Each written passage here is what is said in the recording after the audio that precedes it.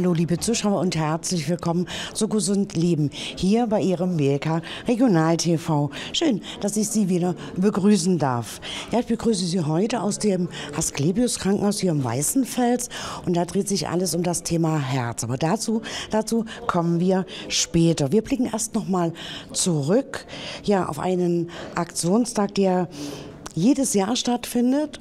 Und dieses Mal im September, ähm, da wurde im Klinikum Burgenlandkreis der alljährliche Gefäßtag durchgeführt. Ja, und wir sprachen im Nachhinein mit Chefarzt Dr. Bernd Lobenstein, was es so wichtig macht, diese, diese Infoveranstaltungen, diese Tage äh, durchzuführen. Interdisziplinäres Gefäßzentrum das haben viele Patienten des Naumburger Burgenland-Klinikums schon einmal gehört oder gelesen. Interdisziplinär, was ist das, was bedeutet das? Ja, bezogen auf die Gefäßmedizin ist es einfach so, dass es kaum eine Fachdisziplin in der Medizin gibt, die so darauf angewiesen ist, interdisziplinär behandelt zu werden. Das heißt, man bezieht alle Fachbereiche, die irgendwie in diese Behandlung des Gefäßpatienten involviert sind, in Diagnostik und Behandlung mit ein und dazu gehören neben dem Gefäßchirurgen, der letztendlich der Vollzieher am Ende äh, des Therapiekonzeptes ist, gehören auf alle Fälle die Radiologen, die Röntgenärzte. Die sorgen für eine entsprechende Diagnostik, stellen uns die Gefäße mit den verschiedensten ganz modernen Methoden dar, wirken selbst bei der Behandlung mit, indem sie in der Lage sind, äh, Gefäße aufzuweiten, mit Stents zu versorgen, äh, auch radiologisch, also röntgenologisch Gerinze zu entfernen. Dann benötigen wir unbedingt äh, die Internisten.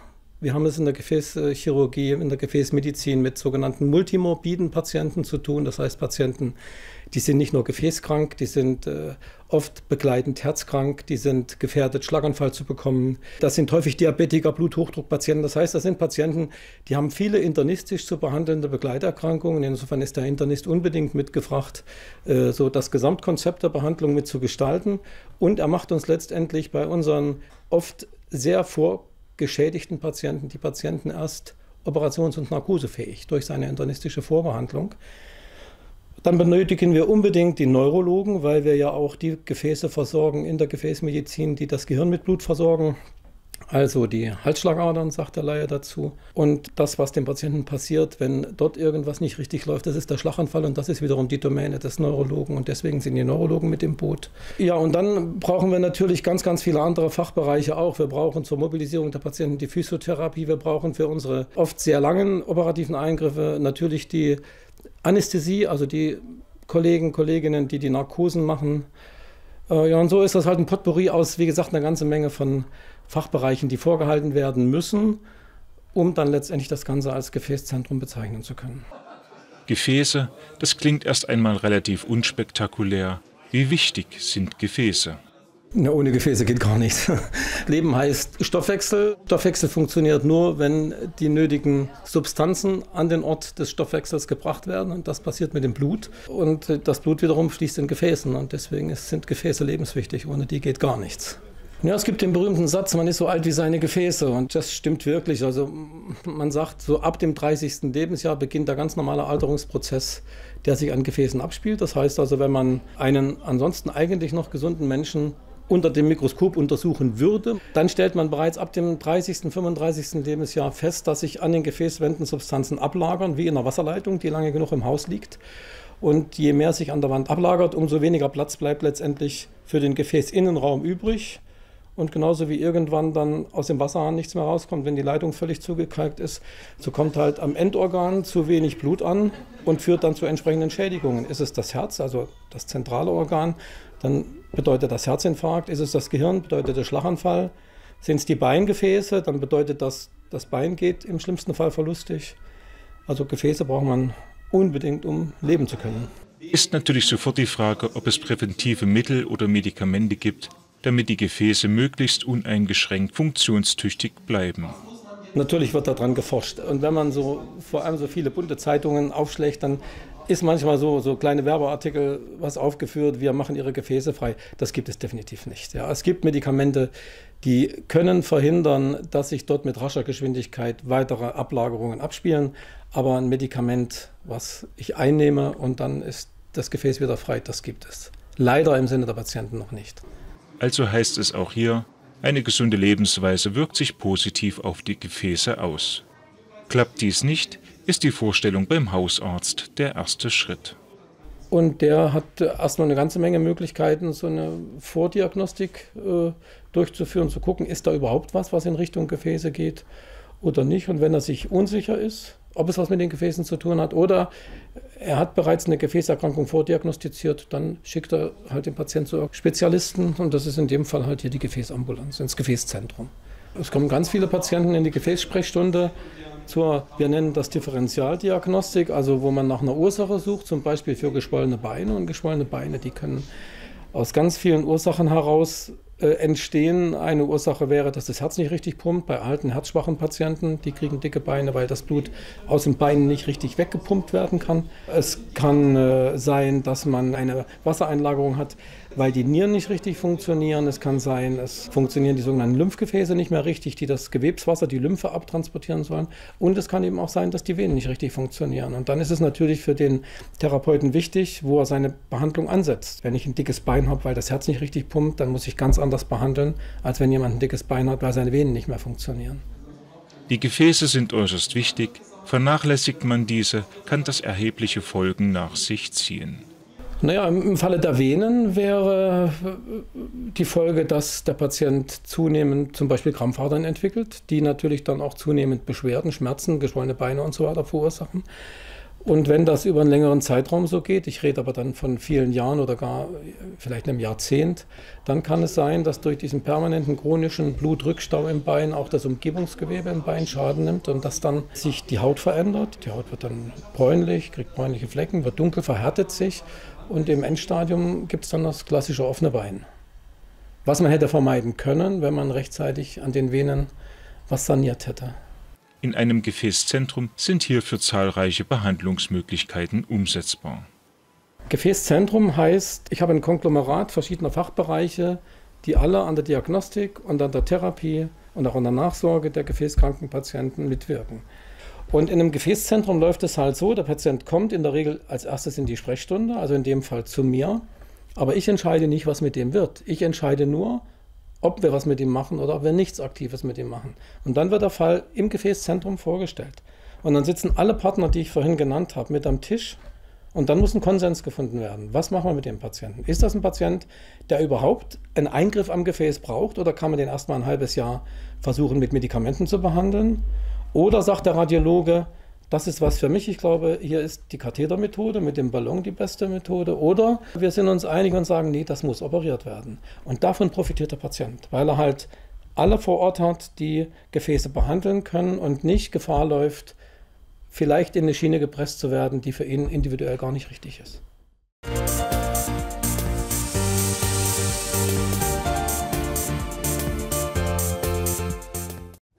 Ja, und wie gesagt, liebe Zuschauer, wir sind im Weißenfels im Asklepios Krankenhaus und ich habe jetzt einen Termin oder wir haben einen Termin beim Chefarzt der Klinik für Kardiologie und wollen da mal fragen, was macht man bei einem schwachen Herz? Im November gibt es im Asklepios Krankenhaus in Weißenfels die Herzwochen. Bereits zum zweiten Mal wird am 11.11. .11.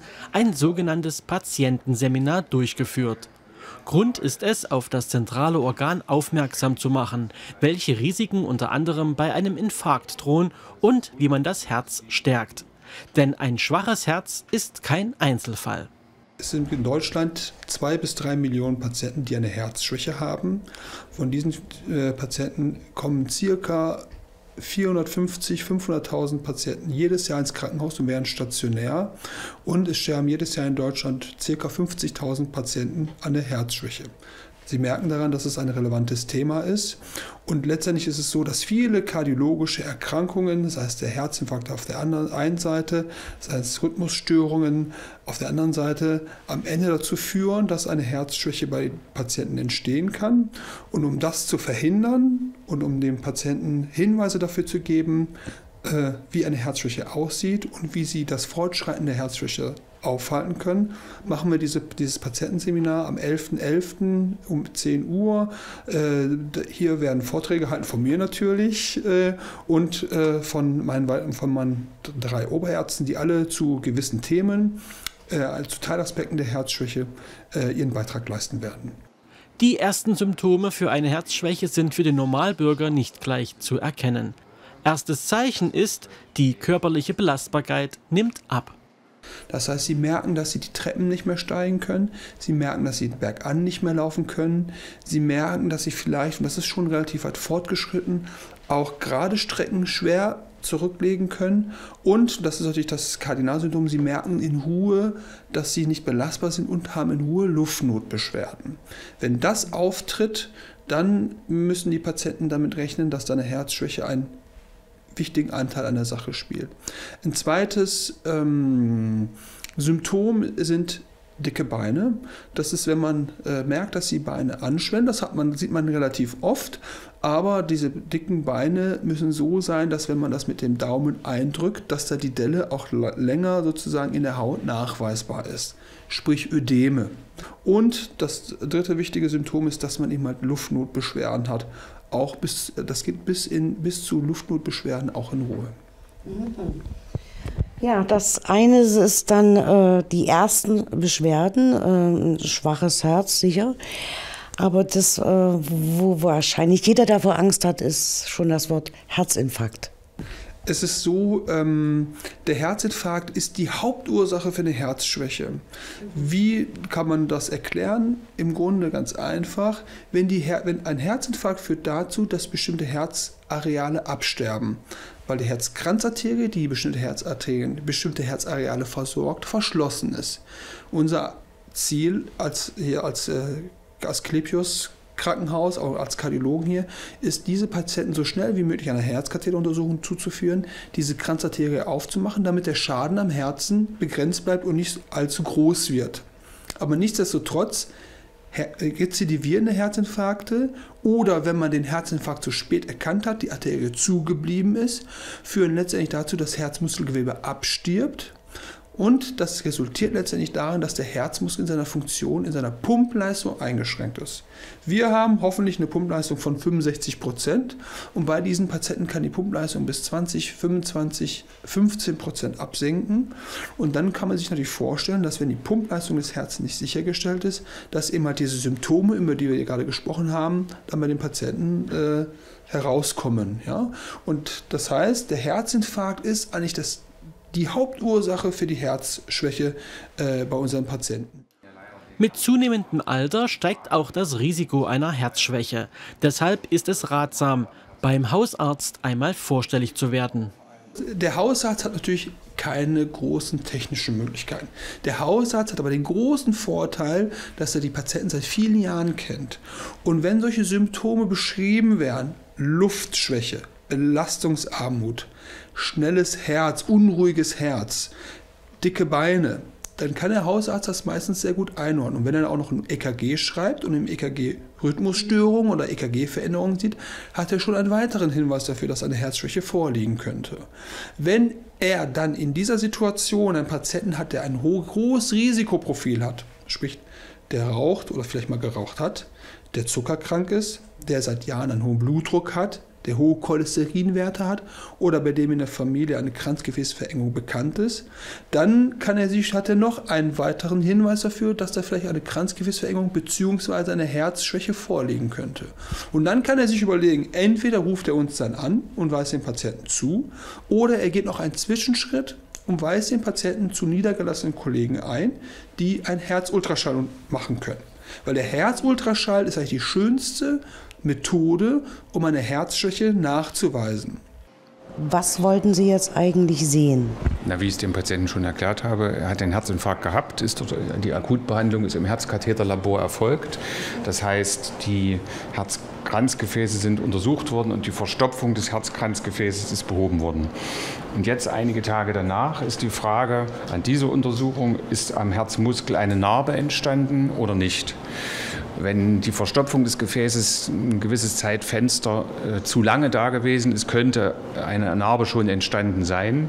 In dem Fall haben wir jetzt gesehen, dass das aber nicht der Fall ist. Das heißt also, die Katheteruntersuchung hat die Gefäßverstopfung schnell genug und vollständig behoben, sodass der Herzmuskel in allen Wandabschnitten, auch in dem Bereich, wo die Verstopfung ehemals war, jetzt wieder normal funktioniert. Es ist keine Narbe zu sehen und die Pumpkraft des Herzens ist normal. Ich habe das Rauchen minimiert. Ja. Alkohol habe ich kein Problem damit. Und äh, ja, das heißt eigentlich nur das Rauchen.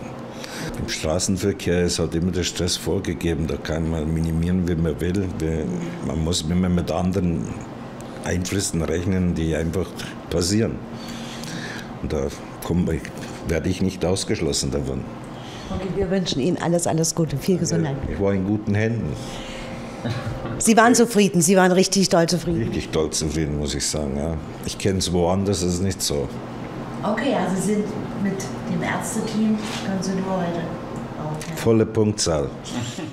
Es gibt aber nicht nur eine Art der Herzschwäche, bei dem das Herz zu wenig Kraft hat, um das Blut durch den Körper zu pumpen. Auch das Gegenteil bleibt nicht ohne Folgen. Es gibt auch die Herzschwäche des Patienten mit langjährigem arteriellem Bluthochdruck. Da passiert was anderes. Da wird der Herzmuskel wird einfach zu dick. Das ist aber nicht so wie bei dem normalen Herz, bei dem normalen Muskel. Wenn er dick wird, ist er gut, sondern beim Herzmuskel führt das dann dazu, dass er irgendwann mal zu dick ist und nicht vernünftig arbeiten kann. Das ist die zweite große Form der Herzschwäche, Herzinsuffizienz, die sogenannte diastolische Herzinsuffizienz. Mhm. Und da, äh, das kann man sehr gut im Ultraschall sehen. Das kann man nicht mit dem EKG sehen, das kann man auch mit anderen Methoden nicht sehen, sondern mit dem Ultraschall ist das die beste Methode. Und dann, wenn es eine diastolische Herzinsuffizienz ist, muss man ein wenig anders arbeiten, als wenn es eine systolische Herzinsuffizienz, sprich eine Herzschwäche aufgrund einer Kranzgefäßverengung ist. Also trotz alledem kann man wieder sagen, frühzeitiges Erkennen ist ganz wichtig. Man sollte also doch auf die ersten Symptome achten und das, was Sie uns ja gesagt haben oder jetzt auch den Zuschauern, zu diesem Seminar ganz einfach mal vorbeischauen und sich weiter informieren. Ist richtig so, ne? Ja, vielen Dank, dass Sie nochmal darauf hinweisen, äh, dass wir haben diese ganzen Themen ja nur kurz angeschnitten und bei diesem Seminar werden die Themen von mir und von unseren Oberärzten nochmal ganz ins Detail angesprochen. Und das Schöne an diesem Seminar ist, wir, werden, wir führen immer ganz offene Diskussionen. Das heißt, jeder kann die Fragen, die er hat, da offen stellen und äh, wir diskutieren das und sagen dann unsere Ansätze dafür. Und da freuen wir uns wirklich, wenn da genug Leute kommen und auch äh, interessante Fragen stellen. Ja, da wünschen wir ganz einfach viel Erfolg, dass viele ja, viele kommen und, und fragen. Und wir bedanken uns ganz einfach, dass Sie sich die Zeit genommen haben für das Gespräch heute. Dankeschön. Vielen Dank, Dankeschön.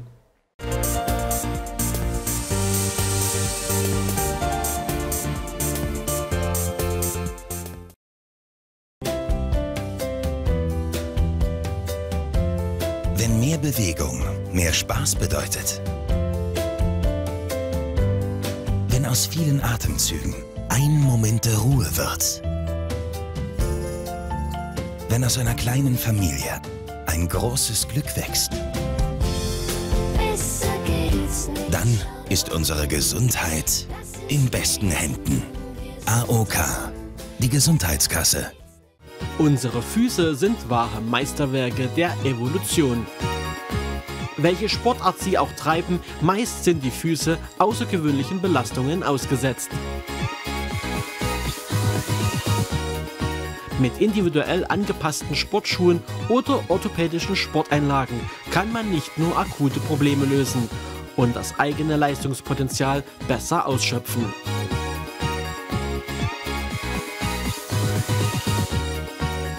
Schuhpetters, die Orthopädie-Schuhmacher, legen ihnen die Welt zu Füßen.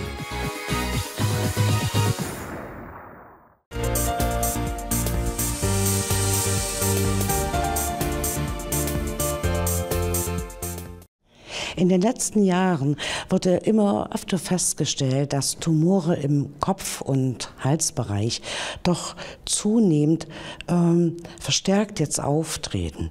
Eine Informationsveranstaltung sollte im Klinikum Zeitz ja Aufklärung bringen oder zur Aufklärung beitragen. Und wir sprachen mit Chefarzt Dr. Pekele Mekkonen. Mit einer Informationsveranstaltung über Kopf-Halstumore informierte die Klinik für Hals-, Nasen- und Ohrenheilkunde in Zeitz zahlreiche interessierte Besucher. Ziel war es, mehr über die Symptome, die Diagnose und gegebenenfalls einer Therapie zu informieren. Neben einem Vortrag und dem aktuellen Wissensstand über die Erkrankung gab es ebenfalls an dem Tag kostenfreie Voruntersuchungen. Gründe für das vermehrte Auftreten von Kopf- und Halstumoren konnte uns Chefarzt Dr. Bekele Mekkonen nennen. Tumorerkrankungen im Kopf-Hals-Bereich treten jetzt immer mehr auf, weil die Risikofaktoren auch äh, gehäufter äh, da sind. Rauchen, Alkoholmissbrauch und auch Papillomavireninfektionen verursachen, dass die Tumoren immer mehr bei Frauen und Männern auftreten. Wie äußert sich das? Wie, wie merke ich das, dass eine Erkrankung im Anmarsch ist oder schon da ist? Das ist äh, das Problem. Wie Sie wissen, ist, ist, der Erfolg ist, äh, der Tumortherapie ist immer davon abhängig, wie schnell man die Diagnose hat, also auch damit, wie schnell man die Therapie äh, macht. Ähm, und bei manchen Tumoren sind die Symptome so diffus und nicht immer einordnen, einzuordnen weshalb wir auch äh, immer wieder Informationen und, und Verhaltensweisen äh, empfehlen. Das haben wir zum Beispiel im September im Rahmen einer europäischen äh, Tumor äh, äh, oder äh, Sensibilisierungswoche gemacht. Da haben wir über Symptome geredet, die unbedingt durch einen Facharzt abgeklärt werden müssen und eben Verhaltensweisen, Informationen überhaupt, wie wenn man jemand, wenn jemand was hat, äh, wie er sozusagen das Ganze abklären lassen kann. Wie groß, als letzte Frage, wie groß sind die Heilungschancen? Die Heilungschancen sind heutzutage sehr gut. Wir haben viele Möglichkeiten, Patienten zu helfen. Allerdings äh, bleibt es wirklich dabei, die, der Erfolg und auch die Therapiekonsequenzen. Also wenn man jetzt zum Beispiel große Organe entfernt, ist natürlich nach der Operation das Leben auch eingeschränkter, anders als vor der Operation. Um all das sozusagen moderater zu machen, ist die Hauptsache, dass man diese Erkrankungen zeitig entdeckt, dass die Patienten zeitig zu uns kommen. Wenn wir eine zeitige äh, Diagnose haben, kann man eine sehr geeignete Therapie, Operation, Bestrahlung, Chemotherapie machen. Und äh, die Heilungschancen sind damit sozusagen sehr hoch. Und auch die postoperative sozusagen Einschränkungen werden auch sehr äh, sozusagen ein, begrenzter äh, sein. Deshalb sind die Heilungschancen definitiv gut, aber wir müssen alle, auch die niedergelassenen Kollegen, wir überhaupt alle in der Medizin tätig sind, eben diese Tumore gemeinsam zeitiger erkennen. Da werden wir sehr viel für unseren Patienten tun.